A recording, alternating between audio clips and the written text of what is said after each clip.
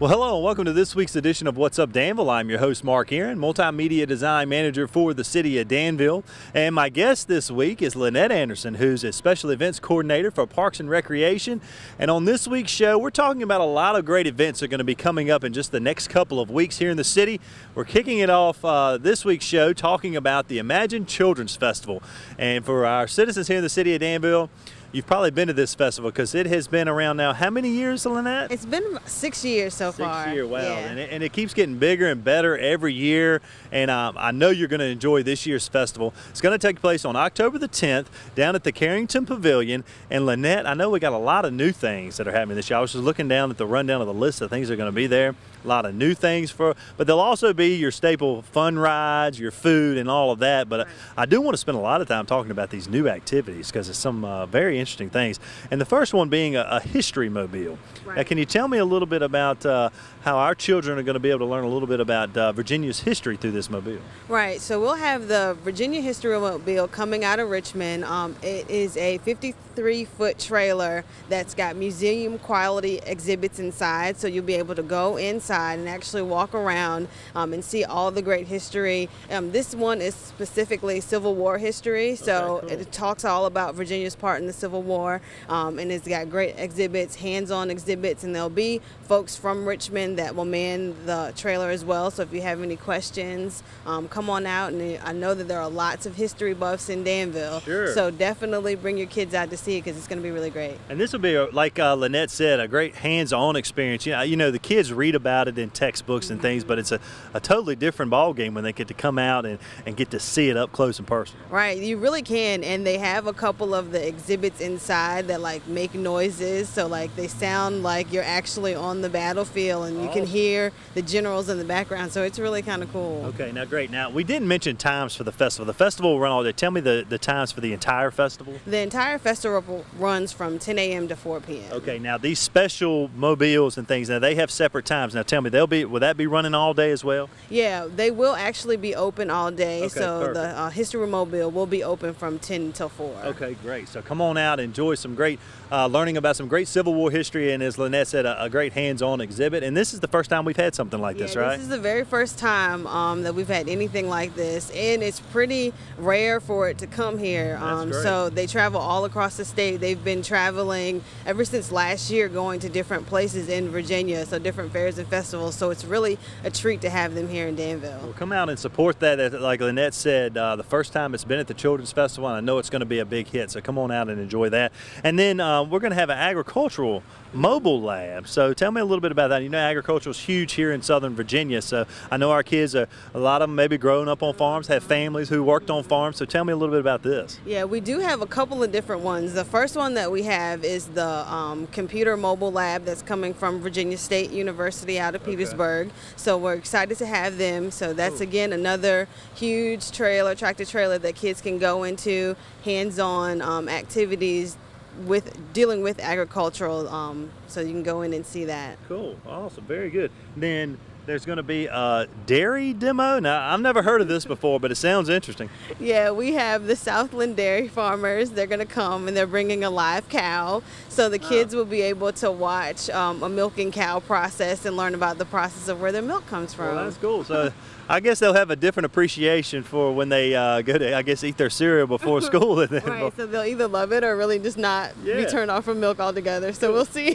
Very good. Now all this will be taking place in the pavilion area. Right, all of this will be in the pavilion. Um, we've got a huge layout in the pavilion, so um, you can't miss the mobiles. You're not going to be able to miss the cow. Um, Yeah. So we've got everything laid out, so just definitely come down. Now the dairy demos, now those are some different times, right? That's going to be 11 to noon and then 2 to 3 that day, right? Yeah, they are two, di- four different times because you know we have to give our cow a Yeah, little bit of break in between. So yeah. Okay, very good. So that'll be at 11 and noon, and then again at 2 and 3 for the dairy demos. And, and that's something, right? I, I've never seen that before, so I, I'm looking forward to seeing how that works. It should be pretty cool. It should be really cool. and will they get actually be able to do hands actually milk the cow? No, or? they won't be able to touch it, but they'll be able to watch. how- uh, yeah, watch the how teacher and see how it works. Okay, very good.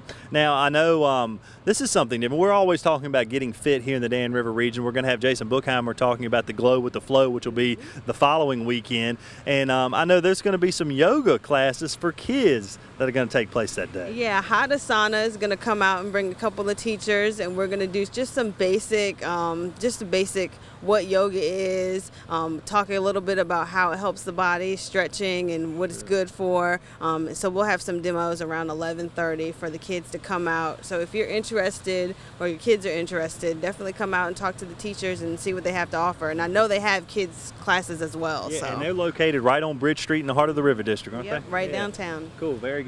And then I know on the main stage you're going to have something very special involving puppets, right? Right. We're going to have the paper hand uh, puppet intervention that's coming from Graham, North Carolina.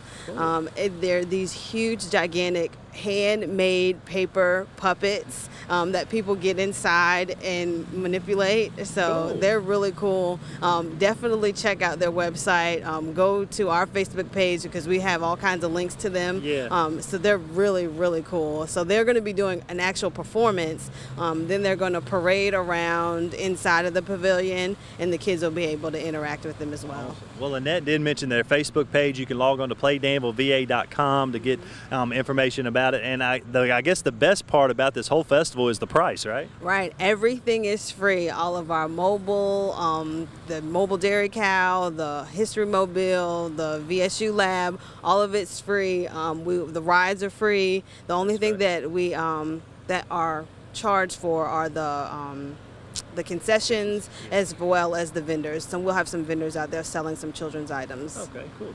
Now, I know uh, the Danville Fire Department has always been involved in the Children's Festival, and that's going to be no different this year, right? Right, no different. They'll bring the smokehouse out um, so the kids can come in and get a little uh, smoke safety and fire prevention safety as well. Yeah. And that's great because October uh, falls right into fire prevention month, so I know their public safety uh, aspect of the fire department is out in full force during October talking. I think smoke alarms is the uh, the um, message for this year, so they'll be talking about uh, having smoke alarms installed in your home, and then of course the fire safety house is always a big hit with the kids. Yeah, it definitely is. And then I also noticed uh, this may be something new, maybe not, but remote control cars. Is this something different? Oh no, we've had them before. We Okay. had them last year. So those are the um, actual stationary uh, steering wheels Okay. where the cars go around the track that the Okay, kids can uh, play with. Okay, yeah, I do remember that. So you just kind of and they have a steering wheel there. It's like four or five, and you can race your friends around the track. Okay, cool. I do remember that. All right, and then um, I know Marlo the magician is always there. You got stilt walkers. There's got a lot of different things going on throughout the pavilion area. So as you walk around, there's always something exciting, right? Right, yeah. Um, we'll have our sponsors are out always um, doing hands-on activities for kids. We'll have um, our other community agencies out doing hands-on activities for kids, um, and that's our big push. Um, if you're coming down to join us, we want you to have a fun, free day of activities. Yeah. And I know like face painting is available. The kids always love that. I know Parks and Recreation has little games and activities that they can play. Um, and then also I think Home Depot is doing a demo as well. Right, they'll have their sandbox out, and they're going to be doing the kids workshop as well. Um, cool. So yep, they'll all be out there. We'll have the Junior Wednesday Club. They always help us with volunteers. They're always so gracious to bring at least 30 or so girls. Yeah. So the Junior Wednesday Club will be helping us um, that day, and they will actually be doing face painting as well. And I know it's always uh, um, a great atmosphere, but you couldn't do it without your sponsors. And I know you got a lot of great sponsors that are helping you do this this year. Right, so we definitely want to thank all of our sponsors. We want to thank URW, J&J Truck Sales, Severn Trent, and The Grill. Okay, very good. And again, we've been doing this for six years now, and uh, this is uh, really the kickoff to the River District Festival because the festival is going to run two weekends this year. In uh, October the 10th, down at the Carrington Pavilion, it's the Imagine Children's Festival, and it's always a great time for kids. I know we didn't mention was uh, there's going to be a catfish display or something like that. Yeah, uh, we have through Parks and Recreation. We have a program that's called Catfish in the Classroom. mhm. So Bert is going to come and bring his catfish in the classroom out to us at the pavilion. Cool, and I know the game and inland fisheries, they always have a display up and, Yeah. and kids can cast rods and things like that. So I know a lot of kids in the area love fishing, getting out to the outdoors, so they'll be able to do that as well, right? Yeah, they'll be out there. Um, they'll bring their boat down, so they'll do some basic boat safety as well. Okay, So, very yeah. Yeah. Yeah, and that catfish in the classroom that Parks and Rec it does is, is really interesting. It, they actually go, there's a couple of middle schools that have the tanks in the classroom, and they raise these catfish uh, from small babies, and then they release them, I guess, at the end of the year, right? Yeah, and it's really um, a great way for kids to learn about the environment and learn about what's going on and how things grow. Right, and how to keep those fish healthy in the river and not pollute the river because we, we do a lot of a lot of activities along the river and cleaning up the river as well. So, well, Lynette, sounds like a great day expected on October the 10th, and we want you to come out. It's from 10 to 4 p.m. at the Carrington Pavilion. It's the Imagine Children's Festival. Lynette, thanks again for all that you do each and every year for the Children's Festival, a special events coordinator, and we look forward to the event. All right, thanks. We hope to see everybody out there. All right, and we're going to take a quick break. When we come back from break, as I mentioned a little earlier in the show, we're going to talk to Jason Bookheimer, who's putting on the Glow with the Flow 5K. That's a Parks and Recreation event. It'll be the following weekend. It's going on Friday night, um, October the 16th. It's the only night 5K here in the city of Danville, so you want to stay tuned to learn more about how you can get involved in that event. Again, Lynette, thanks so much. You're welcome.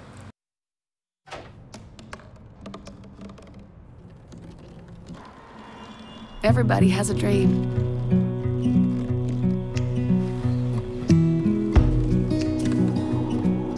Mine was to see the ocean.